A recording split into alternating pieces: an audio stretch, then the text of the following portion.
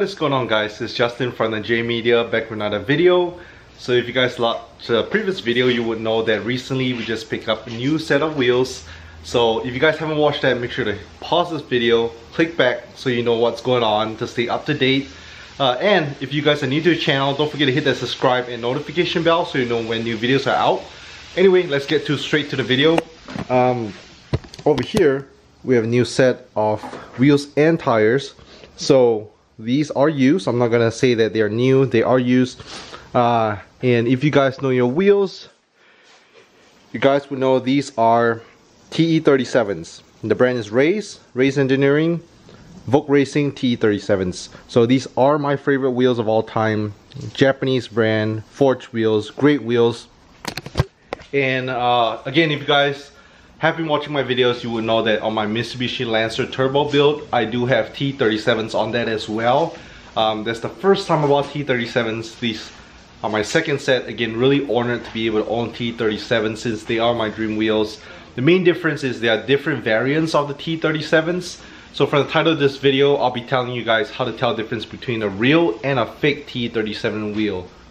So I don't have my Mitsubishi Lancer Turbo built here, but um, I'll be able to kind of explain. So on that car, I have T37 SLs, which are super laps, a little bit different. Uh, they are a newer edition. I think the color on that is a double press black. I'll go ahead and insert some photos right here.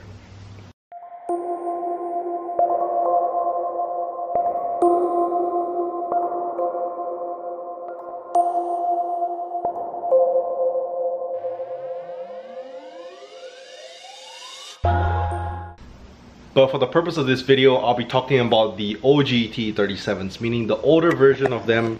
So these are the OG T37s, um, which are an older edition, like I said.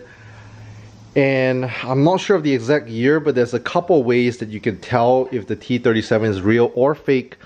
Um, I did a lot of research, you know, since I'm more familiar with the newer T37 SLs, not so much with the OG T37s, I wanted to make sure I'm getting real wheels, authentic wheels, not replica wheels. There are companies out there like Rota, Rota Grids, uh, like JNC that make replica T37s. So let me go ahead and bring this wheel out to show you guys the difference.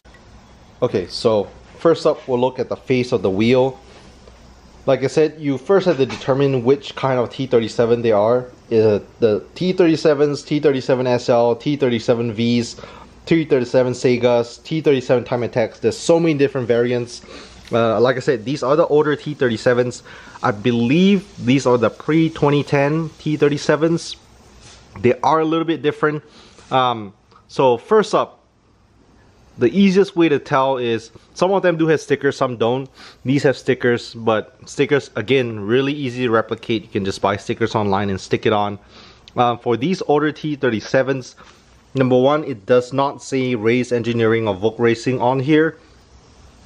For the OG T37s they do not say that. On some of the newer ones on my T37 SL we have Rays engineering engraved on it so for the OG T37s pre-2010 doesn't have it. The only thing you have on the face of the wheel are these little markings.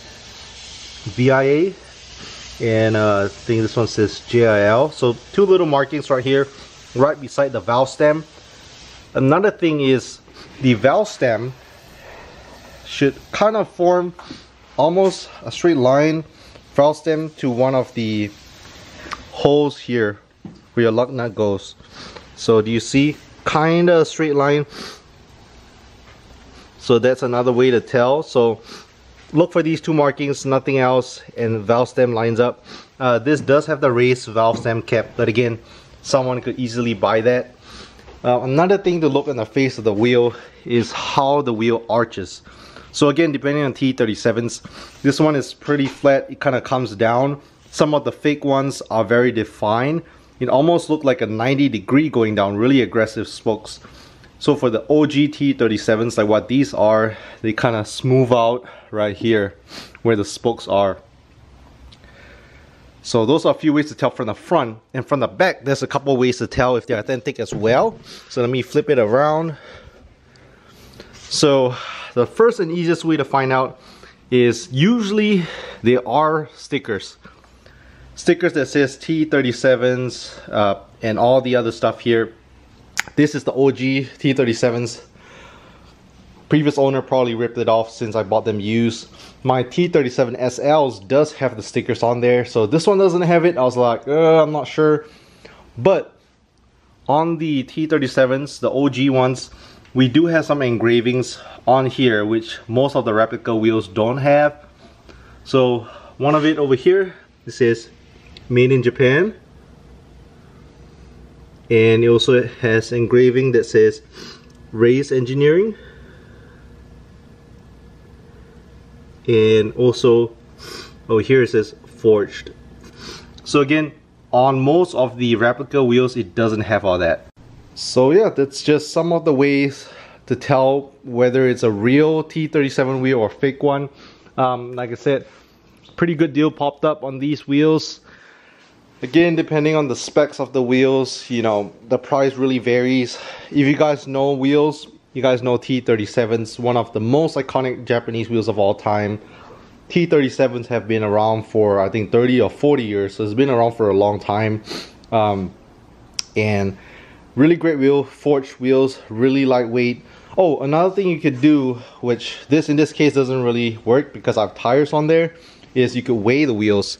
So T37s, again, depending on size, they typically weigh about 15 pounds, 15, 16 pounds. Um, on your replica wheels, they are heavier, so they might weigh about 19 pounds or 20 pounds. So if they're pretty light, 15 pounds or so, for the most part, it should be a real wheel. So those are some of the ways that you could compare. Um, if you guys want me to do a comparison video, I could do that whenever I got I get my uh, Mitsubishi Lancer Turbo build back. So I'll be able to compare the OG T37s to the T37 SLs. So this might be a pretty short video, but I want to make something informative to you guys. Um, the T37s, like I said, my all-time dream wheels. If you were to buy a set brand new, again depending on specs and stuff like that but on average you're looking to spend right around four thousand dollars so that's a lot of money for wheels um, and if you want to buy like the stickers they are about a hundred something dollars. You want to buy like the raised valve stem cap there's like 40 dollars. So they do add up um, on my Mitsubishi Lancer Turbo build. I do have the stickers I have the valve stem cap I have the lug nuts. Shout out to Min he bought me the raised lug nuts. Those are over a hundred dollars as well. So you can really pimp out your wheel to all Rays stuff. Um, pretty expensive. But yeah, again, I cannot imagine that I finally got, you know, another set of dream wheels. Um, you guys might know, whenever I picked up my DC5 RSX, I did consider getting wheels from Rays. Uh, T37s were out of my price range, but I was thinking of maybe some Gram lights, Rays Gram lights, 57 DRs, which are cheaper. But I went with the Enkei RPF ones, got a great deal on them, so couldn't pass it up. RPF ones look great as well. Lightweight wheels. And then most recently, the new pickup, we have the Civic Si sitting on stock wheels. So I was like, saw this great deal I couldn't pass up. These are 18 inch wheels, so I was like, I could fit them on the SI. They could go on the RSX. They could go on my Mitsubishi Lancer GT as well. Um, currently I have 17s on the RSX. I could fit 17s on this as well, which is what it is stock, but I was like, might as well size up to 18s. So if you guys like the video or if you guys like T37s, don't forget to leave a thumbs up, subscribe if you're new to the channel. Thank you for watching and I'll catch you guys in the next one.